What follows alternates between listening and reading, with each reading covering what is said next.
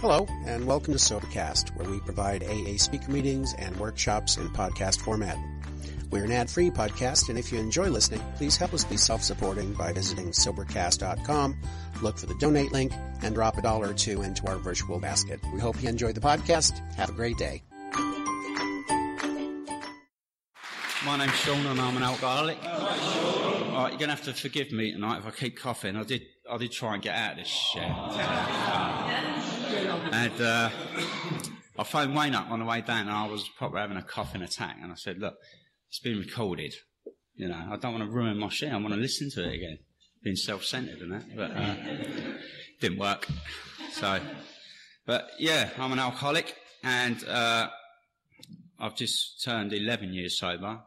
I know this is a 10 year sober share, but I've been trying to dodge it for a year and it hasn't, you know, finally caught up with me. So, but it is a privilege to be here tonight. And, uh, Tony, I just love your share.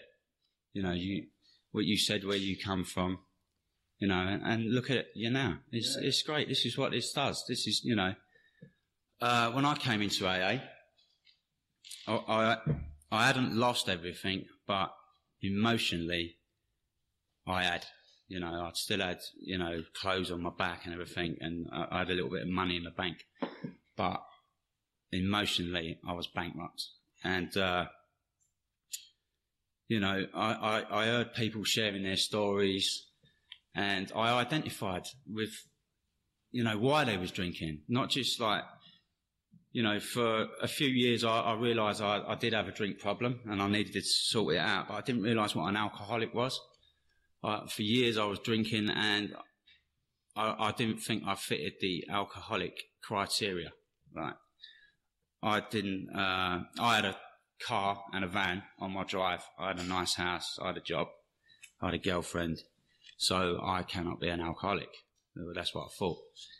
But it, was through coming here that I realised, you know, that that wasn't what an alcoholic was. You know, uh,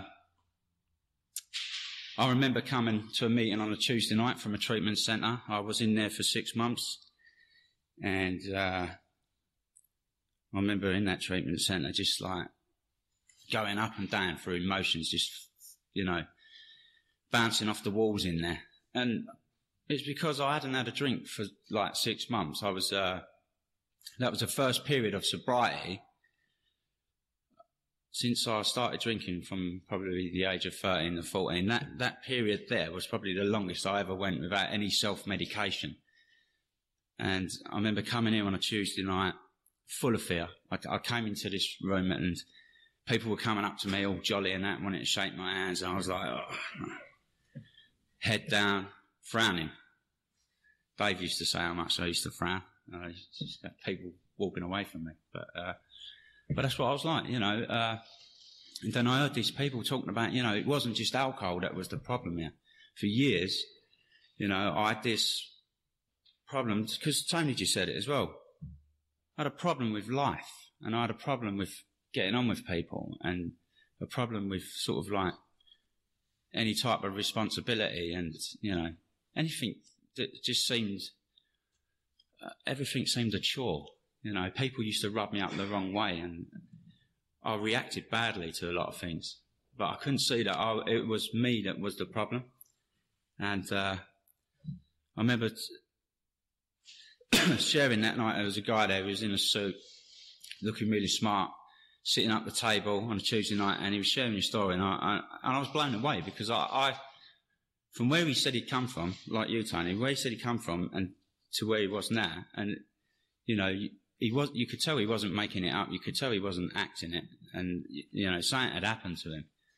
Uh, and he spoke about how he felt as well. I really identified with that, you know, how he felt when he wasn't drinking. And it made me realize the reason why I like to drink, you know. But the problem was when I had a drink, uh, I didn't know when to stop. It says in the big book, uh, to define yourself as an alcoholic, it says, if when you honestly want to, you, you find you cannot quit entirely, or you have little control over the amount you take, you're probably an alcoholic. And, and that was it. That's what brought me into AA. the first, like, initially was the lack of control, because that took me to the treatment centre. Lack of control, because I couldn't control it.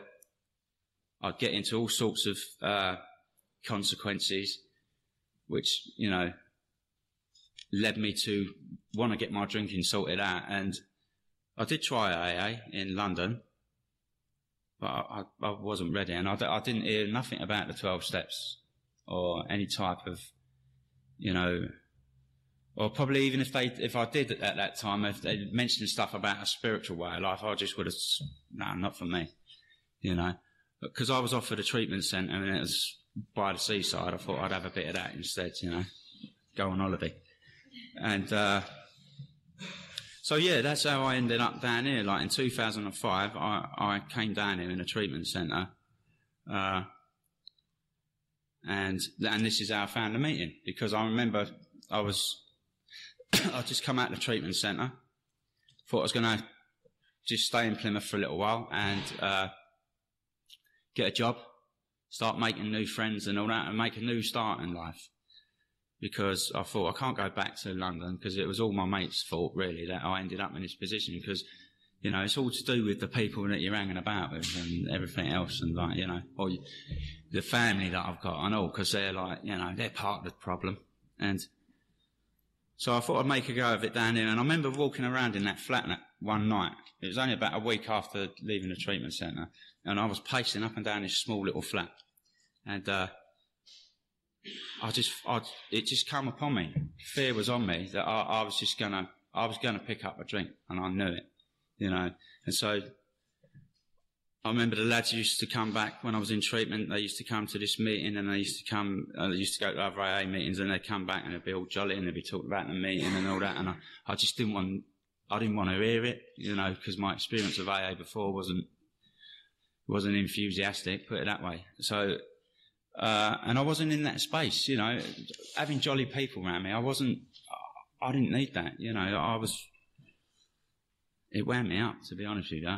Uh, so I remember pacing up that flat thinking, I, am going to go to that meeting because I need to be around people uh, that are in recovery at least. You know, I weren't going to do nothing when I come here.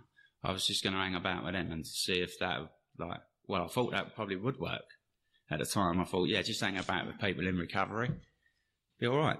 And, uh, but when I went and I sat down and I listened, it just clicked there and then, you know, that I had something, uh, something fatal, really. It's a, a, a, fatal illness. That's what, that's what I, I learned that night. It was something that,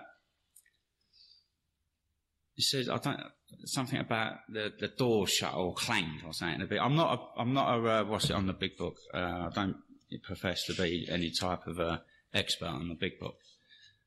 But, uh, I remember seeing that bit in there, and it says like, uh, and that's what it felt like. It just felt like I, I, was doomed unless I did something, and I didn't really know at first until I started listening to everyone else that there was something here, and you could see it in the people. Most definitely, you could see they'd done something to get out of the rut they was in. When they was talking their stories, it was like, and look at you now. That they'd obviously done something, and I was told it was a, it was a, a process, and it was called the twelve step program.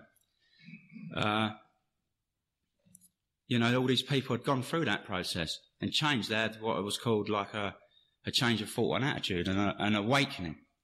They changed from inside, and and that's what I needed. You know, because everything I tried in life, I tried I tried a pair of trainers every other week. That's, that, I'll tell you what though, it does work for a couple of days when you get a new pair of trainers, right? When you're in, the, when you're in treatment.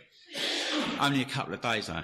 And, uh, you know, nice cars, uh, everything just wasn't enough. It was just like I, I was just trying to fix myself.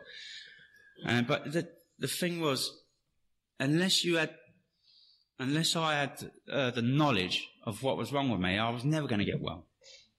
And I'm just so grateful to you lot for giving me that knowledge that night that there was something far worse than just a drink problem. Uh, and that night, I just got a sponsor. I went up to Andy Redjacket. Where is he? Where are you? Oh, there he is. All right, mate. Over like to Andy, took me through the steps, and uh, I just thought I'm going to do this, and it it was more. It was more because I, everyone, especially at this meeting, everyone was saying how life was wonderful. You know, how you could have what you want in life. uh, You know, how, how you could live your dreams and that sort of thing. That's the sort of thing that made me realise, you know, there is something here. And uh, I wanted that. And so I got a sponsor, and uh, straight away he, he, he said to me, like, uh, that night, he gave me a little pack, and he said, "You do these things." And I, I was thinking, well, they're not hard things to do. They weren't hard or anything, but I just thought, I've just done treatment for six months. How can you tell me I'm going to do these little uh, things here, suggestions they call them, uh, and that's going to work for me? You know, there's people spending thousands and you know millions on treatment centres and everything, and this is for nothing. And you're telling me do this, do this, this, and I'm going to be all right.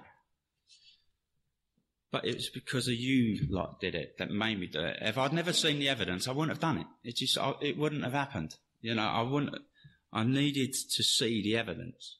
And, uh, it was here that night, you know. Uh, so I went away and I did those things and, uh, I started to feel better pretty quickly as well. I started to feel better. Uh, still a bit angry though. that took quite a while to go, really. But you know, I was feeling better, and, I, and the, the the biggest thing that for me that was really keeping me, keeping my spirits up and bringing me back each time, was having a meeting where every week people were just enthusiastic and saying how, how their lives are just getting better. That kept me coming back, you know, because there was tough times in early recovery, and sometimes you, you know, when you come in, some people find it easier than others. And, and it's just the way it is. But if, uh, you know, if you are new and you're just in and you're finding it difficult, just keep doing it. That's all you got to do is keep doing it because it will, it does get better. 100%. I mean, I had, I did have a tough time early recovery, but a lot of it was my own doing, but I didn't really, uh, I thought it was the will of God. and, uh, it definitely weren't, but it felt like it. but you know, it's I just got a lot of admiration for my sponsor at the back there for like sticking with me uh, over the last eleven years, really. And it's through people like Wayne, John F, Andy, Alexis, these people that have been here for over 20 years now that make me still do this as well. You know, if there's no one in front of me, I'm the sort of person that I struggle with discipline.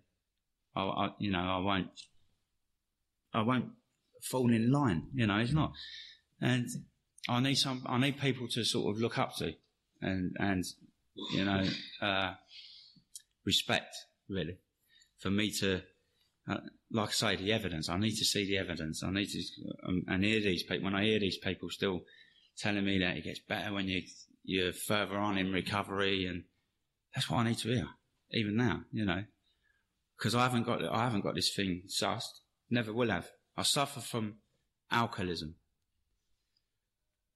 When I don't do this program now, I suffer from alcoholism. Still, it doesn't go away. Uh, you know, I still put these actions in uh, in my life daily, not not perfectly, sometimes perfectly, sometimes really badly, sometimes uh, all right. Uh, you know, I just don't work a perfect program. I'm not a perfect uh, human being.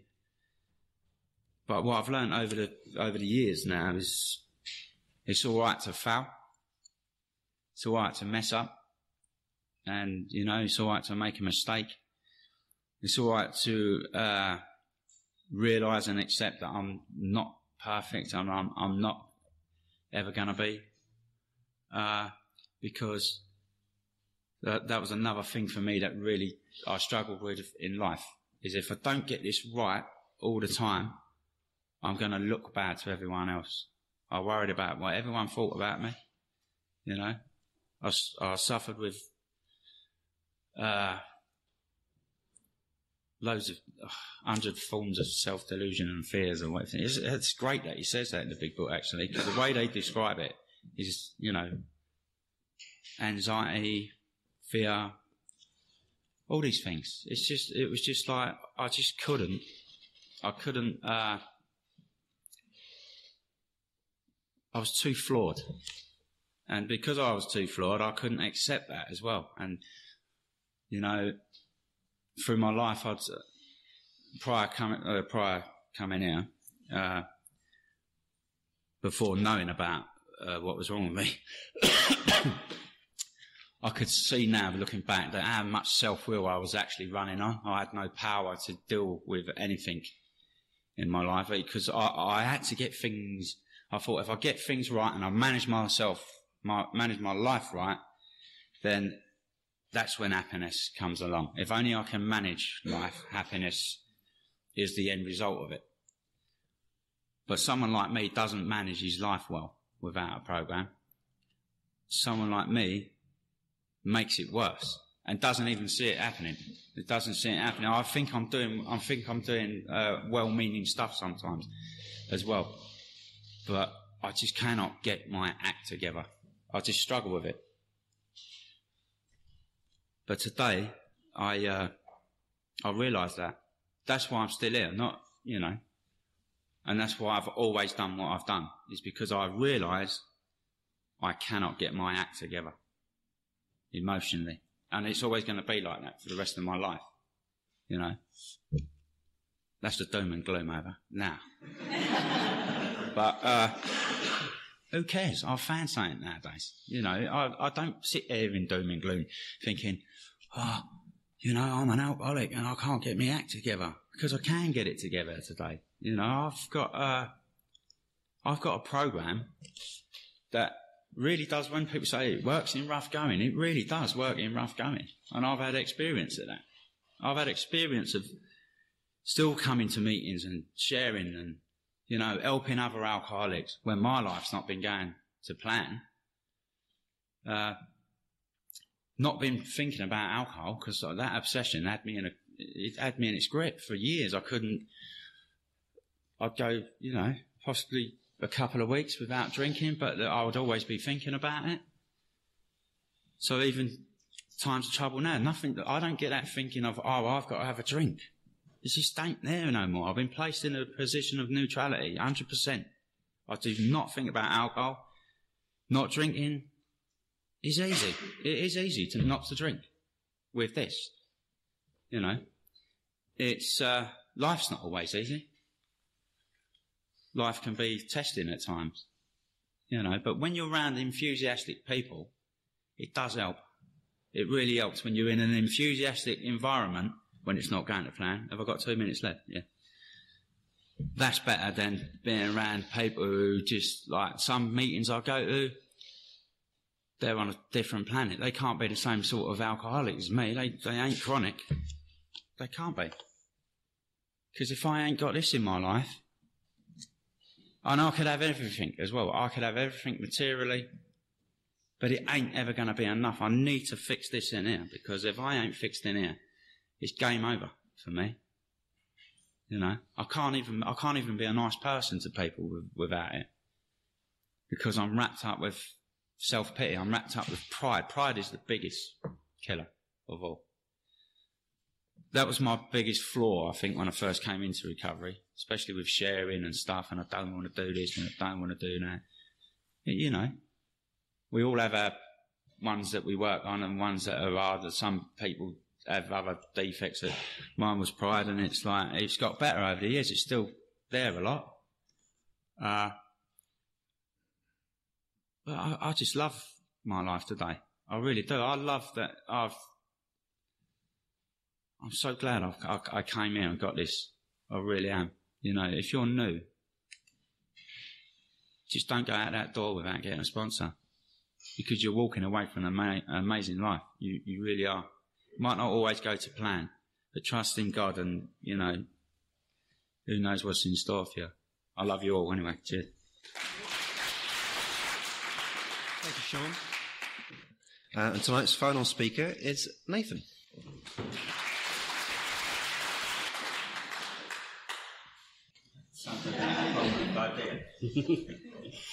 Good evening, everyone. My name's Nathan. I'm an alcoholic. And uh, a warm welcome to anyone new to this meeting or to Alcoholics Anonymous. Um, I'm a grateful customer of Alcoholics Anonymous. I've just recently turned 10 years sober, and um, I come to a, I go to a meeting that's very similar to this. It's actually the Road to Recovery meeting in Bournemouth. Um, dare I say it's probably a little bit better than this one. and I and I think you've copied our style somewhat. but uh, that's my home group, you know, and um, sort of reaching ten years of sobriety is is a time for reflection, and so are shares in general. And uh, you know, my ten years have been absolutely amazing, you know, and I wish I had the vocabulary and the passion to just tell you really how good they are, you know, and, and have been, and um, and I certainly look forward to the to the next ones. You know, if you're new tonight, you need to have your own, you know, and and you really do. You know, the first three speakers have been brilliant. Um, I identify with all of them. You know, I'm a, an alcoholic that's described in our basic text. Um, one whose problem is an alcohol. You know, that was never my problem. And I sort of look back um, to when I was a kid, and you know, I'm the type of I was the type of kid that just wouldn't be told. Sean mentioned lack of discipline, you know, and that was me. I was unteachable. Uh, I was a smart ass. Uh, I always had an answer for everything, and at the same time, I was scared. And I had this this fear, and I didn't really know why. And sort of very quickly, I learned that if I take something, it changes the way I feel. So I did you know, and it didn't matter who it belonged to uh, or what it was. It was just really, I wanted more. You know, I needed something to just change me because I wasn't comfortable with myself. And, uh, and of course, again, you know, this is all with hindsight and reflection and looking back. You know, I didn't know it at the time and I found alcohol, you know, and it worked, you know, and it, and, uh, and I sort of made a decision then, you know, and I didn't know that, but, uh, that I was going to go for it you know, and it doesn't really matter how you arrive in Alcoholics Anonymous. You know, my journey's been prison and institutions. Um, at the same time, sort of getting myself together and going to university and getting a degree. Um, you know, I've done, I've done everything. I've tried everything I possibly could to just leave it alone. Um, because if you are an alcoholic of my type, uh, you'll know what it's like. You know, and it, and I mean, our book describes it brilliantly, and you know, and like I say, I, I lack the ability to be able to do it, but um, you know how it makes us feel. You know, you can be in a room with all these people and be so lonely. You know, and you've got this sort of head that's just constantly questioning everything. You know, what's he thinking? What, what's she thinking? Um, you know, what do these people want from me? What do they want to hear from hear from me? Um, when I said my problem's not alcohol, that's me. I'm just like this ball of anxiety and fear in my stomach, and I don't know how to live life. What I do know is how to get out of my head, you know, and I'm an expert at that. Um, and the smallest of tasks, when I look back on all my life, the smallest tasks become astonishingly difficult to accomplish. So, you know, I can't keep accommodation. I can't keep relationships you know, and I, because, because I wasn't one of these sort of functioning alcoholics, you know, I went for it. Um, you know, I crossed that line and it, and I'd do anything for it, you know, and it took me to all those places that, you know, if you're in here this evening and you probably know some of them. And like I say, the loneliness and depression and self-pity, feelings of isolation, not being able to maintain relationships, letting people down all the time, the people that you love and care about. Um, and the worst thing about it really was I didn't know why. I didn't know why I kept doing it. You know, I would make promises to myself, let alone other people, you know, after another detox and another relapse, you know, I'm not doing it again. You know, I'll be gripping the sink after hobbling down the stairs, you know, on another detox, you know, and making promises to myself. And yet, you know, and Sean sort of touched on it really, you know, it's that no matter how great the necessity or wish, you know, I will never leave it alone. You know, and, and, and if you're in here tonight, then I'd urge you, because you know, to think about why you're in here. You know, and especially if you're new, because I know why I'm in here. I know why I've just travelled two and a half hours in a car after being up since five o'clock this morning um, to come down here and share this evening. You know, I know why I'm here. It's because I'm an alcoholic of the hopeless variety. You know, and um, left to my own devices without this program, I'm not well. And, and I can, I can see that myself. You know, I look back over my life and I make decisions which are just, you know, insane. Um, I'm not a well person without this program, you know, and so therefore I need something to, to, to make me better. And like I say, you know, and I look for it. You know, I tried pretty much everything I could think of, family and like I say, educating myself. Um, and I, and I just couldn't stay stopped. You know, and it's when you come into Alcoholics Anonymous that there's a book and it tells you all about it. And like people have said, you can get yourself a sponsor, which is another recovered alcoholic, um, to take you through the 12 steps. And like Sean said, you know, getting a group like this that's full of passionate, enthusiastic people who are armed with the facts about what it's like to be us, you know, because they know what it's like to be us. And, um, that's what I did, you know. I walked into a meeting very similar to this on a Wednesday night in Bournemouth. Over 10 years later, I haven't looked back, you know, and I haven't looked back because the first thing that happened was I got honest with myself, you know, and, and I was able to sort of, you know, just, just sort of say to myself, really, you know, the game, the game's up. You know, it's been drink till you can't drink anymore, stop stay stopped you just can't stay stopped anymore and pick up again. And it's been that cycle over and over and over again. So sort of one morning I wake up and it's like, you know what? I'm done. I don't want to do this anymore. You know, and, and, and where do you go? You know, and, and my experience of that was, is that all the sort of treatment and, you know, and all that sort of stuff, no one ever told me in these places about a threefold illness. You know, no one ever told me about a spiritual malady a, physical um, and, a, and a mental obsession. You know, they never told me about the allergy. I never heard any of this. You know, I never heard the problem isn't alcohol, it's alcoholism. And um, it was only when I came to AA with people who I believed were like me. Uh, you know, and, and so I sort of woke up one morning and it was like, I'm done, you know, and, and I burnt the bridges. And for myself, it was prison again, um, and then being being released on a DRO to another sort of treatment thing. And um, and thankfully, somebody took me to a real strong solution sort of based meeting on a Wednesday night, and uh, and I heard the I, I heard the message, you know, and that's what each group has one primary purpose. You know, there's nothing more important than carrying that message, and the message is you can recover in Alcoholics Anonymous. And uh, and like Sean said, I wanted it. You know, I wanted it, and uh, and I would do anything for it. you know, with the same desire um, that I went about my drinking. You know, and that still applies today. You know, from where I've been, and uh, and and how it felt and what it was like.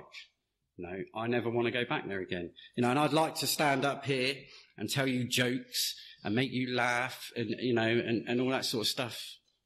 But you know what? It's not about that. You know, it's not about that. People die. You know, people relapse. People go through horrific experiences. You know, and whilst I can sing about the joys of recovery, that's the other side of the coin. So I made a decision. You know, I knew why I was in AA and I took it seriously. You know, and, and, and that might sound to someone new like, you know, pretty uh, depressing, you know. Um, doomed to church halls on Friday nights with people you may or may not like. You know, and, and the bottom line of that is, you know what? Tough. It's, you know, tough. Because, like I said, I've, I've got an illness.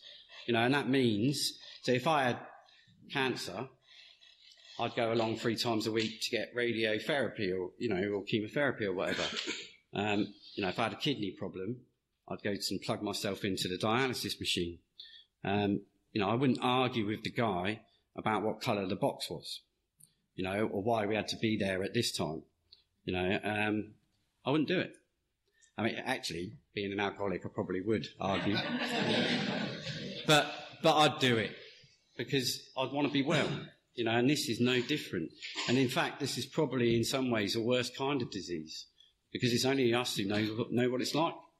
You know, my wife is um, uh, black belt, seventh Dan Al Anon, and uh, she has some idea, but only we know what it's really like.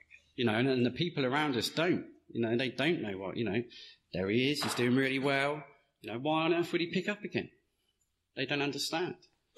You know, but we understand. You know, and that's why it's so vital to sort of get connected with the people that are on this. And um, you know, and I thank God I did. You know, because I, I learned some great chunks of truth about myself. You know, and that was the first thing I had to have was honesty. You know, and uh, and I hate that word. Truth. Honesty. You know, he wants to do that. He wants to be honest. Um, but I did, you know, and that truth, the first truth was I'm an alcoholic. Now I don't have one. I do not get away with it and it will always be the same again. You know, and therefore I need my medicine. You know, and for me, 10 years at my home group, um, which is, like I say, at Road to Recovery in Bournemouth, um, continual sponsorship, acting on the information that was given to me, um, laying aside, and I first heard Alexis say it, um, my childlike defiance, you know, because I have it, and uh, and just changing. You know, Tony mentioned he doesn't like change. Who does? But I knew the truth. The truth was I needed change, and the truth was I wanted change. You know, and, and I see it in my own home group, and it's probably it's probably quite similar here. You know, so I've been going to my home group for ten years, and you see somebody come in who's quite new. You know, they make a great start, and then after a while, they don't want to be here anymore, or they start to question things. You know, and um, it was agreed with me at the start that I'd go to any lengths, absolutely any lengths for victory over alcohol. You know, I didn't even know what they were. It didn't matter. I was up for that. Um, and I've managed to maintain that, which is probably the hardest thing to do. Um, you know, to keep maintaining that. But if you knew, like I say, and you, have probably seen it, you know, people come in and it's, and there's, you know, the meeting doesn't change. You know, I've been coming to this meeting on and off. Um, for probably 11 or 12 years. And uh, it's still exactly the same. Same faces, um, you know, same great message. And, uh, but there's lots of people who won't be here because they changed, you know, and I see it at my meeting. People come in, they make a great start, and then it's like, you know what? Don't want to do that anymore. And I, and I made a decision for myself on, uh, on my home group nights that from half past six, it's not about me. It's about my home group. You know, and whether they're going to face it this way, that way, whether the banner's blue, pink, green, whatever, I'm going to be here. And whether my medicine is bitter or sweet, I'm taking it. I'm taking it, you know, and, and that's not a thing to anybody else, not a promise or a decision to anybody else, but to me because I have faith now because it's worked. Now it's worked for 10 years and, and that's the thing, you know, sort of staying sober, leaving it alone became, was easy. Absolutely easy. Um, living life on life's terms, um, as Sean said, he used the word testing, you know, it can be challenging. Um, I'm married. I have two children. Um, you know, so so things can be challenging at times. But alcoholics, if you get this program, if you follow the people in this room, uh, are blessed more than anybody else. You know, I've had two lives. I've had a life of, of prison and chaos and, you know, and, and, and, good times and parties and just all the mad stuff that goes with being an alcoholic. Um, and I've had 10 years of just being consistent, you know, able to deal with bills and life and life on life's terms. You know, feeling comfortable with myself. Um, you know, and I haven't done things perfectly, but but I've been able to live another life, a life that I would have never achieved on my own, and it's allowed me to you know, the freedom I have in my life to do what I want to do is second to none. I mean, it's brilliant. I could, like I say, I really do lack the vocabulary to describe how good it is. Um, it wasn't like that when I first walked in. I had, a, I had the clothes I stood up in to a dry house. You know, 10 years later, I got up at five o'clock this morning. And I was able to go fishing on a river on the other side of Bournemouth and then, and then pick my children up from school, meet my wife, come down here, you know, and I'll be going back to my lovely home this evening. It never used to be like that. You know, and like I say, 10 years is a sort of time to reflect. You know, how did it happen? How did it happen? You know, and, and, uh, and I'm sure it'll probably be read out at the end. You know, miracles do happen. Our own recovery proves that. You know, and if any, you know, 10 years ago, believe me, this is a miracle. You know, and I'm not religious. It's nothing about that, you know, that sort of thing. But, um, you know, ask my wife. AA works. Ask my children. AA works. Ask my employer. AA works. You know, my family, my mum, just everybody, everybody is rippled out. Um, and, and, it, and it, of course, it begs the question why? You know, why did it? Well, because, like I say, I got honest. I got honest. I got out of the playground. You know, and like I say, you know, and it might not be things that people want to hear, but, you know, I don't really care about that um, because this has been my experience. I got out of the playground, you know, I got off the landing. I quit the debating team and I just followed people who knew better than me, you know, and continue to do that. And, um, you know, thank God that I had those people in my life. You know, for me, it was always, you know, I'll take the easy, soft way. You know, who wants to do hard work? You know, people would say, you know, there's principles. Honesty is the best policy. No, it's not. You know, honesty doesn't get you what you want. You know, Nathan, just try your best. Why would I want to do that? You know, I want the easy way. And what I found in a good, solid home group like this was that people really showed me love. You know, and, they told me the truth, whether I wanted to hear it or not. And for the first time in my life, I wanted that. You know, I wanted to walk in at 20 past seven and someone to go, you're late.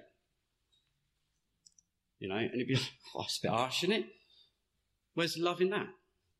Do you know what I mean? You're controlling me. You're on my case. Know? No, this time things had to be different. Know, they had to be different if I had wanted, if I wanted to get well and have a good chance of recovery. So I wanted those people in my life. You know, I wanted people to, to pull me up. You know, and, and the great thing about Alcoholics Anonymous is they're my people. You know, this isn't a church. They're my people. And you can't blag blaggers. You know, they know. They know what it's like. You know, and for me, that's real love. You know, real love is telling people the truth, whether they want to hear it or not. And, uh, and I already knew that. But this time I was willing to, to actually do my bit, which was, you know what, is to, to hold my hands up and go, okay, what have I got to do? Um, and they kept it really simple. Like I said, people recover in Alcoholics Anonymous by taking the 12 steps. They're outlined in the basic text, 164 pages. And to do that, you have a sponsor. And like I say, that's another recovered alcoholic to take you through these 12 steps. I got given the same suggestions.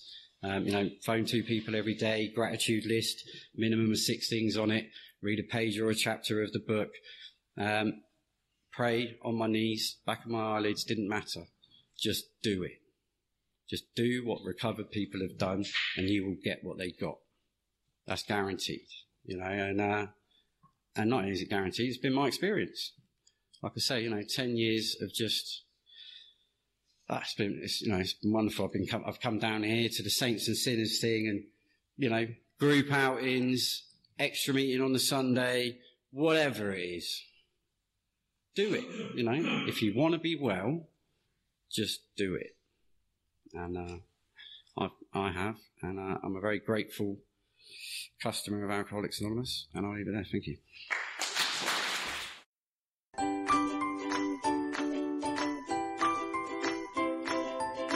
Thanks for listening. I hope you enjoyed the podcast. Sobercast is ad free, and we'd like your help in order to keep it that way.